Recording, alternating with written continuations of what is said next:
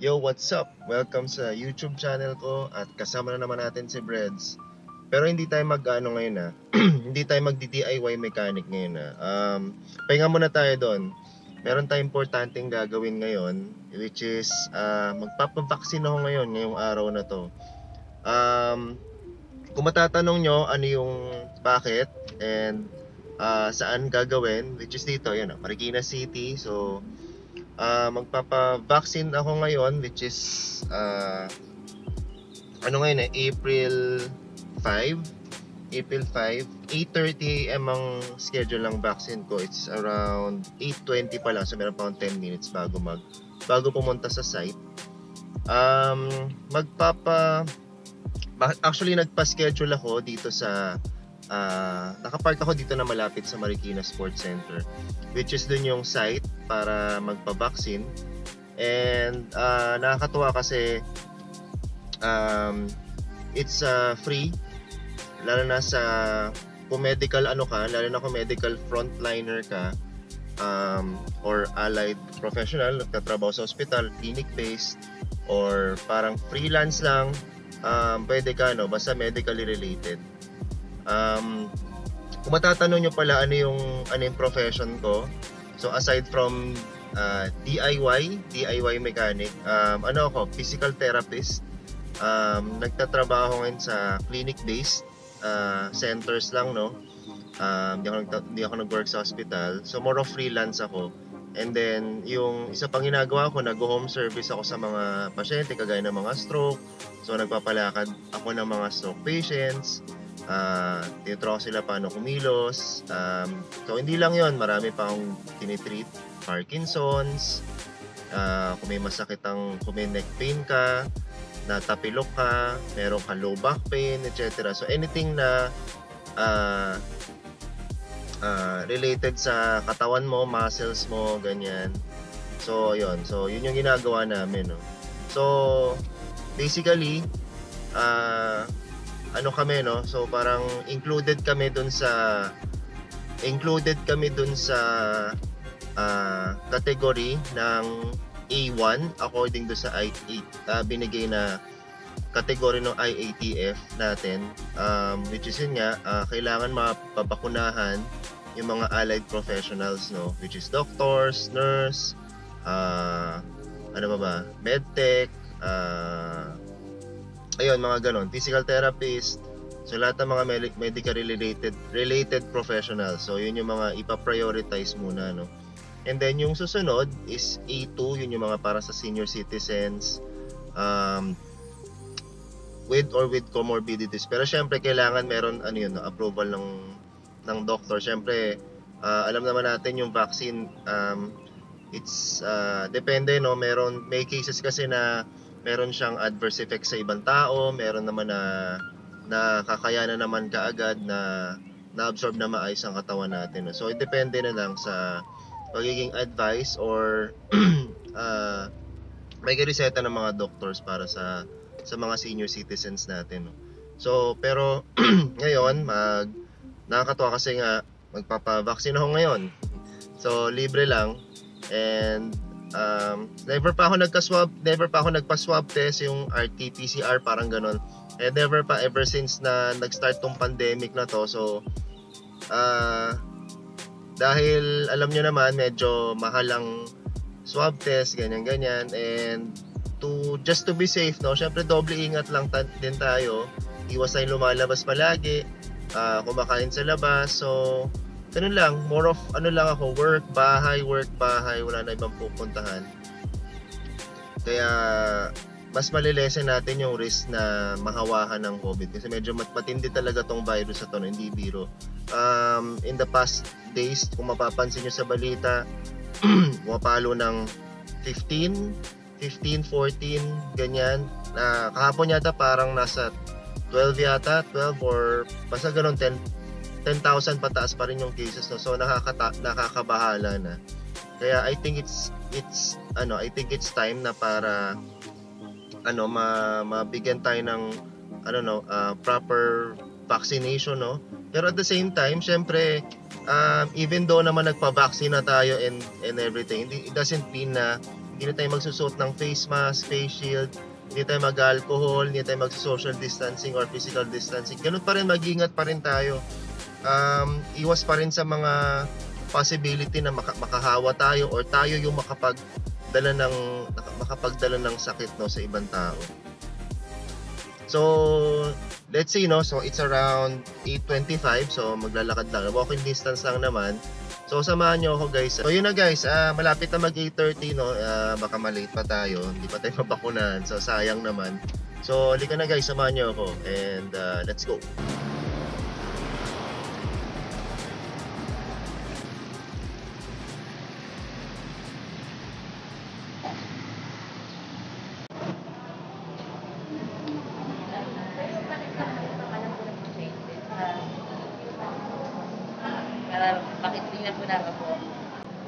Oras na.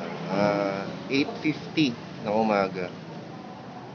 So yun yung pila guys. Gandun pa yan sa dulo. So, kapag nakapila tayo, fill up na tayo ng form.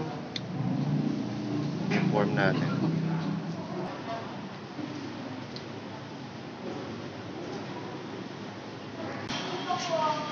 Si Mayor Marcy Chodoro, Mayor ng Marikina.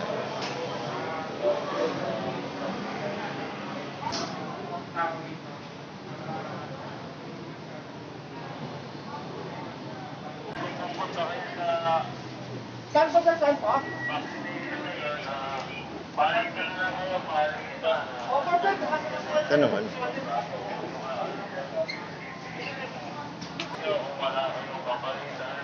Ito naman. Amin po, sir. Amin, sir. Amin po.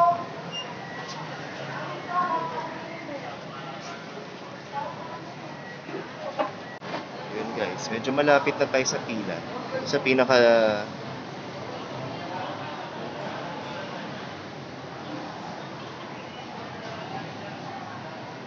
pinaka site na kung saan babakunahan.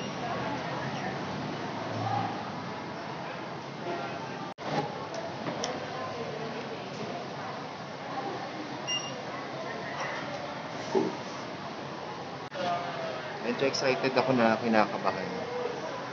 Pero kailangan eh kasi it's for your ano eh, para lumakas yung immunity mo sa COVID-19. So, wala kang choice. Kailangan mo talaga magpa-vaccine. So, malapit na tayo. Hintay natin yung hintay lang natin signal. Waiting signal. Ano kuya? Number one? Okay. Temperature check. Normal temperature. Normal.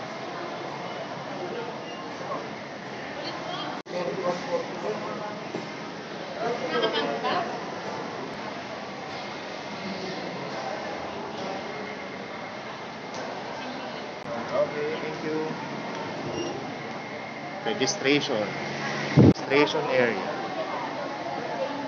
Ayun. Morning po. Wala po. Na lang kayo doon sa nakakulay itim, sir. Pasis na lang kayo. Kulay itim. Okay, thank you. Next, tapos na tayo sa registration, tsaka yung vital signs. Next naman natin is counseling and screening. Sa Marikina, yes. As more of ano uh, home service therapy po. Bali, ito yung first time, first time ko yung nagpa-vaccine. Mas not anything. Ano lang ma'am, yung before ng pandemic, regularly kami shot. Pandemic. Ah, siguro mga 3 years ago, tagal ng medyo. Yes. Yes. Actually, mas kinabahan pa ako kung sa swab test. Tsaka sa mga sa, sa RT-PCR ba yun? O, kasi, o, kasi nagpo-force ano di ba yun? Force sa parang ganun. At ito ma'am, habang libre pa ma'am, provide pa ng government na go lang. Go lang ma'am. Ito vlog ko ma'am. talaga ako. Documented. Saka para malaman din nila yung process. uh, step by step. Paano pag Mag-vlog ako. Thank you, ma'am. Thank you, sir. Thank you. Thank you. So, ito na. Na tayo sa counseling. So, ito na tayo. Para ipili tayo. Number 6. Oh, tama. Kasi nakalagay dito sa Innova. Ah, sige. So, okay lang naman. Kasi importante mapabaksin naman. Hindi naman ako choosy. Kinakabahan ako.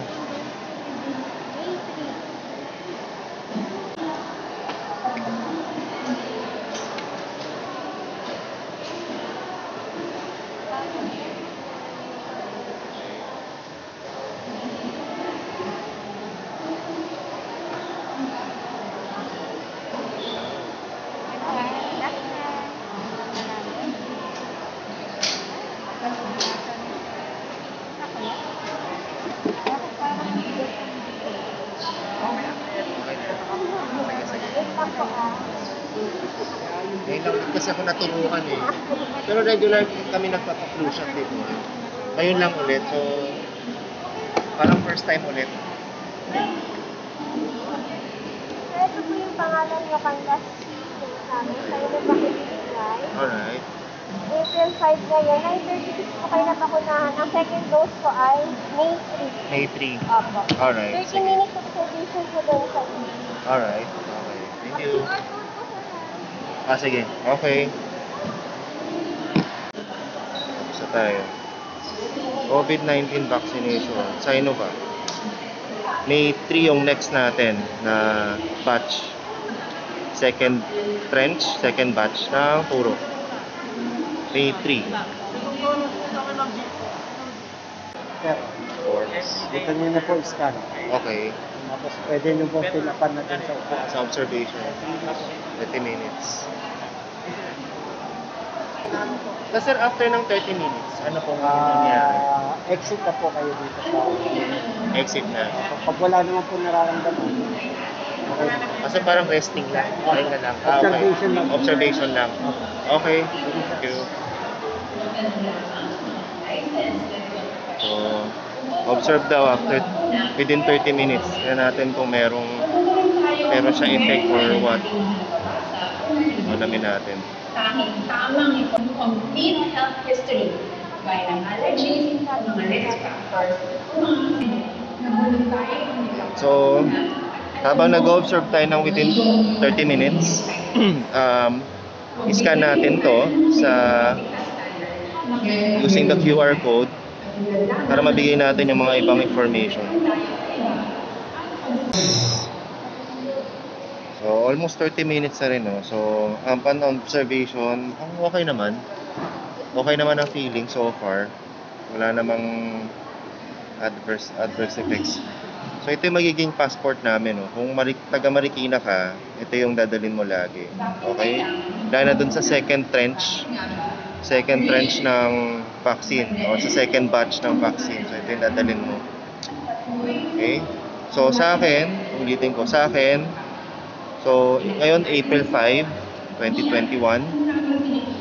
So, next na appointment ko for the second ano dose of vaccine is May 3, 2021. So, babalik ako ng May 3, 2021. So, ayun. Pwede na tayo mag-work ulit. Balik na tayo sa trabaho or isip ko baka papahinga muna ako sa bahay. Kakape.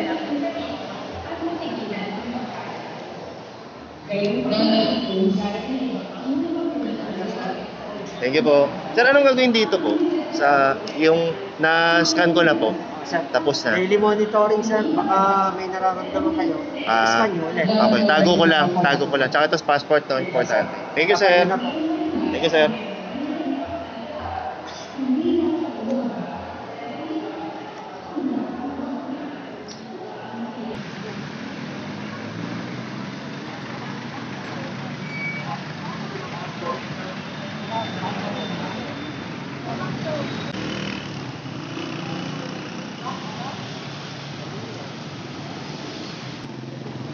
So yun guys, tapos na. Tapos na tayo magpa-vaccine. Babalik tayo ng May 3, 2021. Pero ito yung first experience guys ng ah, ano, ah, vaccine for COVID-19. Okay? Yung magiging yun yung experience natin so far.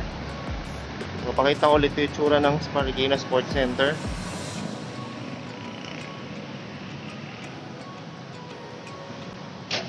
Before ng pandemic, ah diyan kami nag-jogging. Hopefully, pag natapos itong pandemic, pwede na tayo makapag-resume mag-jogging and uh, kapag gano'n ng fitness. Pero syempre, ngayon, DIY muna sa bahay muna. Bahay muna mag-exercise kasi nga talaga bawal muna sa public. Okay? So, ayan. Then, uh, syempre habang ano, during the course of the ano, vaccine, syempre bago pa lang eh, alamin natin yung effect niya until tomorrow. Yun ako kung merong effect talaga siya sa body na according sa iba, um, kakalagnat, nangihina. So, let's see, observe natin, no? Observe natin yung magiging effect niya the following day or, or two. Kasi meron akong friend, nilagnat eh, after niya magpa-vaccine. So, masaya, masaya. Masaya ang experience. Hopefully, makakapalaking tulong to sa atin na mas malabanan yung COVID-19. Sabi ko nga kanina, um, ang pwede lang natin gawin is ah, palakasin yung immune system natin to fight off yung COVID-19. Pero it doesn't mean na hindi tayo mag hindi nat natin gagawin yung preventive measures sa- such as yung face mask and face shield. Okay? Kung magtatanong kay guys, kunyari first time kayo sa channel ko, ano bang ginagawa ko talaga? Bakit Breads ang title ng YouTube channel ko? So ito si Breads. Yan. Yan ang aking kotse or family car. Yan ang family car namin. Toyota Corolla 1990. So yan ang kotse namin. Okay, and then uh, ni-restore namin, pinaganda. So basically ginawa namin tong project car. Medyo didistansya ako. So yan guys. Tingnan nyo sa malayo. O, di ba? So from old to new. So lumang bago. Okay, so yung ginagawa ko guys. Ni-restore namin, pinagaganda. Tino-troubleshoot. Kung ano may mga usual problems, inaayos ka agad para maganda ulit ang takbo. So yan. Kung tatanong nyo bakit breads? Kasi yung kulay niya black and red. Okay? Medyo mahaba yung black and red. Paisiyan natin. Gawin nating or i-combine natin breads. So yun ang tawag namin sa kanya. Okay? So it's a 1990 Toyota Corolla. So yung mga mahilig sa inyo na mahilig sa mga lumang cars o meron pa kayong mga lumang cars or very enthusiastic kayo sa mga lumang cars, ah ito yung isa sa mga magandang kolektahin or magandang bilhin. Okay? Tsaka kita naman kita naman guys, 30 years na to pero ang tibay pa rin. Ang dami pa rin ganito sa kalsada. So aside from being a PT, uh, I I try my best para pagandahin tong sasakyan uh, to be in tip-top shape. Syempre pag nagtatrabaho ko, kailangan maayos din yung sasakyan or else uh, syempre ayaw natin na aberya or hihinto sa kalsada. So ayun. Resume tayo ng work siguro after lunch. Kain muna tayo sa bahay. So, salamat guys ha. Thank you sa pagsubaybay sa aking YouTube channel. Sa mga bago, sa mga first time sa channel ko, ito yung ito yung pinaggagawa ko lately. Nag-restore ng ah, old but gold na sasakyan, which is Toyota Corolla. Okay, so pero marami pa, marami pang magaganda sasakyan. Lancer, Sentra, na luma, 90s cars. Iba talaga tibay ng 90s cars. Okay, so Thank you guys sa panood and uh, let's see, ano natin, i-update natin yung magiging effect niya siguro nung Sinovac the following day or two. Tingnan natin kung meron siyang uh, talagang bad effect or kung meron man, at least iba na ano na natin, um, na tawag dito? Nakapag-proceed na tayo ng ah, vaccine. Yun naman importante dun eh. Nakapag-bakuna na tayo. Okay? So, thank you guys sa panonood and ah, ingat kayo. Salamat.